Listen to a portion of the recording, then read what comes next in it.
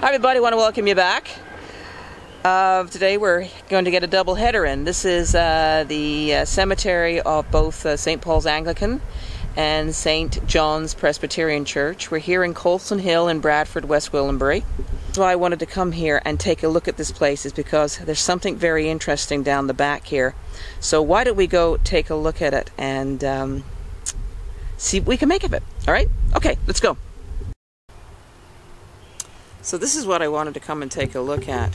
Down there in the trees is an old mausoleum. And it looks like the name is Sturgis. So we're going to go up and take a look and see if we can have a peek inside the door there. I don't think we're going to see much, but you never know. So why don't we go on down? Some of these old graves in front here are just fascinating.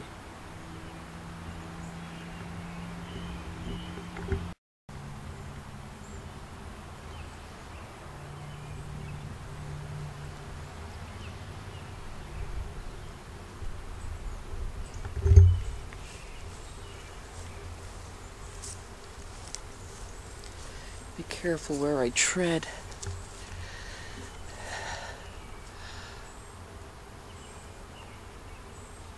Up here, we see the name on the lintel. And there's a plaque up there.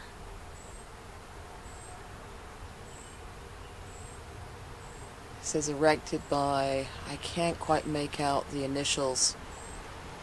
It says Sturgeon in memory of their mother. So there may just be the one burial in here. Not sure. See if we can take a peek inside. I'm going to pull my flashlight out because it is very dark. There's no other light source than through this door. And it is locked. Not that I intend to go inside. But uh, just give me a second here. Okay, so can't really see what's going on in here. There doesn't appear to be any wall crypts.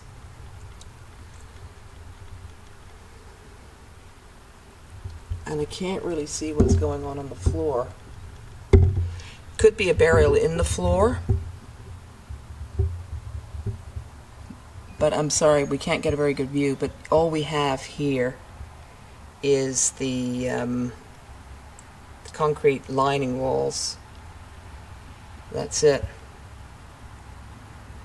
Hard to see what's in here, if there's anything at all. My camera's having a hard time focusing because of the cobwebs and the uh, raw iron. Wow.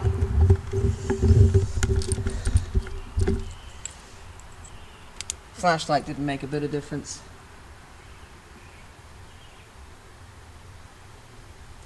I can't see um, anything, uh, any grave covering or anything in there. That's not to say there's not anybody in there. They could just be buried underneath that.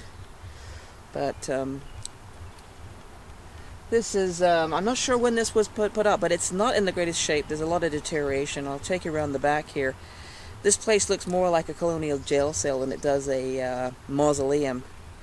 And um, you know, no wonder people have nightmares about mausoleums when they see something like this. okay, let's go take a look around the other side, okay? All right. So here we've got a, a family marker for the Sturgeon family, and I don't know if uh, the first inscription there is who that is dedicated to. It may not be. But there's part of the, um, there's quite a bit of deterioration. It looks like there's been some this is unusual. Take a look at this. This wall. This is either just deterioration or at some point in time this wall was removed and then bricked back up.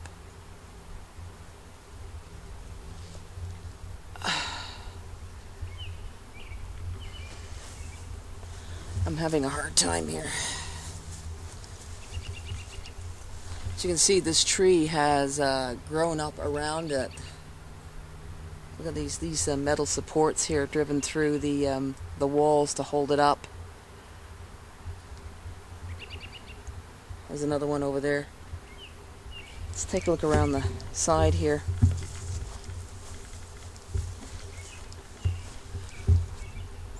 again. It looks like there's been some restoration work.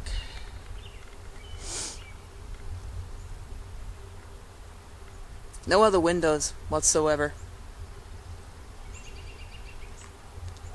Excuse me, Marguerite. Don't mean to walk on your grave.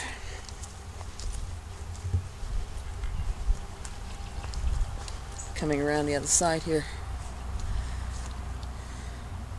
You can see there the other side, there's those huge metal bolts or whatever they are that used to support the walls with coming through the other side. The roof is partly caved in up at the top here. There we go. I can see better up there. That's so these trees have grown up around it since it was uh, built. So my guess it's been here a little longer since the, probably a bit longer than the 1930s as the original grave mark over there says for other members of this family. This was probably built before that. She could have had their grave here and then they built the mausoleum after the fact over the grave and that's probably why you, there's no wall crypts. That's my guess. I could be wrong, but that's what I'm, I'm thinking here. And then these trees have grown most of these trees have grown, though they're very old though. Um, She's probably buried near these trees and then the mausoleum was built. Mausoleums are not very common in these older cemeteries uh, because they cost a lot of money. So for someone to build a mausoleum, uh, they had to have means to do it. I'm going to be honest with you guys, morbid curiosity has the better of me. So I went back to the car and got my GoPro. I think I can get it through uh, the grating in the door here so we can take a better look at what's inside. Not looking for anything other than just curious to see what is actually inside this, if there is anything at all. I'm not sure if I can get it through the grates, but let's have a go.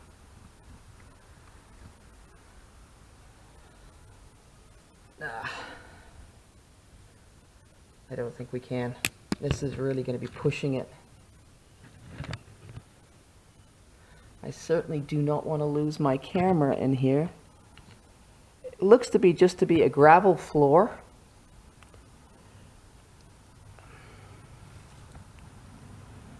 And so this is why I'm saying that this is basically probably just covered a grave. That that's what the family did in the memory of their mother. They just simply this frame is just a little bit too wide for me to get in here. But I think they just... Mosquitoes are back. I think they just basically built over the grave, built this mausoleum over the grave to protect their mother's grave. And that's why you're not seeing any uh, wall crypts or anything. And she's simply, her grave is simply in the ground. That's all it is. Uh, it just covers the grave. That's it. So anyway. So, this is uh, Coulson's Hill, and we're standing in the joint cemeteries of St. Paul's Anglican Church and St. John's Anglican Church. And if you decide to come down here, just remember the rules that I insist on. Uh, be respectful, take only pictures, and leave only footprints. So this is Sharon. Until the next cemetery adventure, I'm going to say bye-bye for now because the mosquitoes are killing me. Bye.